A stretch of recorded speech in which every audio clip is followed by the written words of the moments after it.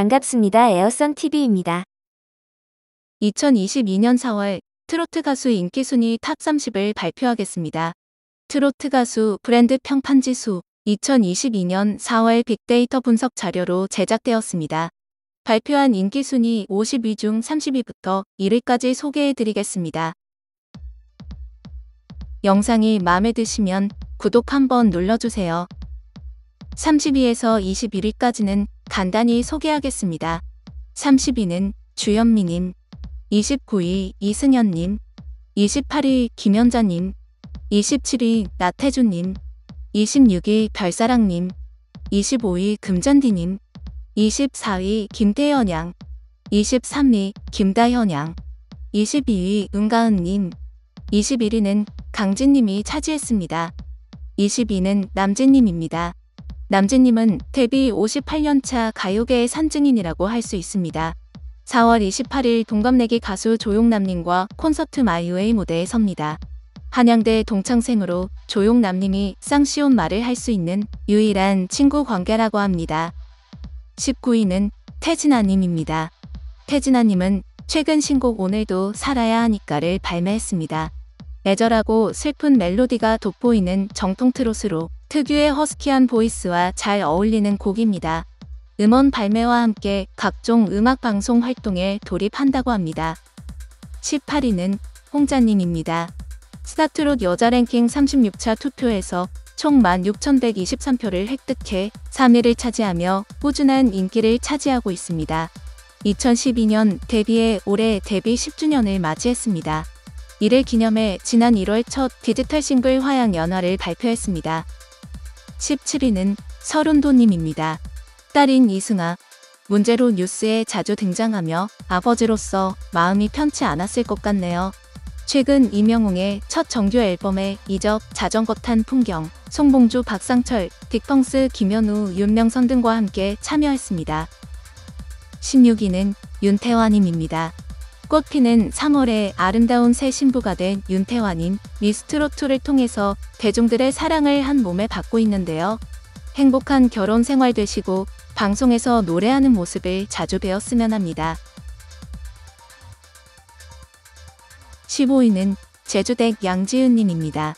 3월 순위보다 10일이나 상승했습니다.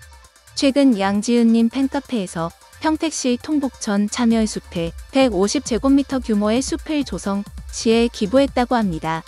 참여의 숲은 나무를 심어 평택시에 기부하는 방식으로 조성하는 숲입니다.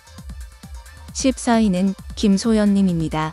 최근 대구 엑스코 동관에서 개최된 JTBC 싱어게인 시즌2 무명가수전 탑10 전국 투어 콘서트 대구 공연이 성황리에 마무리되었다고 합니다. 13위는 3월 27위에서 14계단 상승한 전유진 양입니다. 요즘 방송가의 섭외 영순이라고 합니다. 포항에 거주하며 학교 생활과 가수 활동을 병행하기 때문에 스케줄을 맞추기가 무척 힘들어 방송국에서 전유진 양 일정에 맞추어 방송한다고 합니다. 12위는 홍지윤님입니다. 제10회 대한민국 예술문화인 대상에서 대중음악 부문 수상의 주인공으로 선정되었습니다. 3월에는 한국소아암재단의 선한 스타 3월 가왕전 상금 50만원을 포함 백혈병 하나를 돕기 위해 기부했습니다. 11위는 나훈아님입니다. 데뷔 55주년을 맞아 전국 10개 도시의 팬들을 만나는 투어 콘서트를 진행합니다. 이번 콘서트에서 최근 발표한 신곡 무대도 보여줄 예정입니다. 6월 부산 공연을 시작으로 대전, 창원, 인천, 대구, 안동, 고양, 서울, 천안, 광주 등 10개 도시에서 총 23차례 무대에 오를 예정입니다. 10위는 김희재님입니다. 트롯 가수뿐만 아니라 예능, 드라마 출연 등으로 바쁜 나날을 보내고 있습니다. 최근 방영된 MBC 토요 드라마 지금부터 쇼타임에서 이용열 순경역으로 열연하며 좋은 반응을 얻고 있습니다. 9위는 정동원 군입니다. 트로트 신동이 첫 미니 앨범 손편지를 발표했습니다. 다음 달부터 전국 투어 콘서트를 통해 4대 도시에서 관객들을 만납니다. 손편지 앨범의 신곡과 트로트, 발라드, 댄스 등 장르를 아우르는 무대를 선보일 계획입니다. 8위는 장민호님입니다. 오는 5월 1일 디지털 싱글 앨범 회초리를 발매합니다. 그동안 남자는 말합니다. 드라마 내 이름 아시죠? 7번 곡도 정답은 없다 등의 곡으로 활발한 활동을 펼쳤습니다. TV조선 화요일은 밤이 좋아, 골프왕, KBS의 주저 비풍년 등 다양한 예능에 출연하며 장르를 불문한 맹활약으로 많은 사랑을 받고 있습니다. 7위는 장윤정님입니다. 최근 미니 앨범 에스트리너를 발매하고 약 1년 6개월 만에 신곡을 선보였습니다.